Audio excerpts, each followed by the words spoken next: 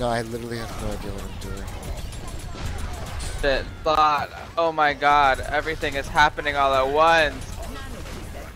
Why?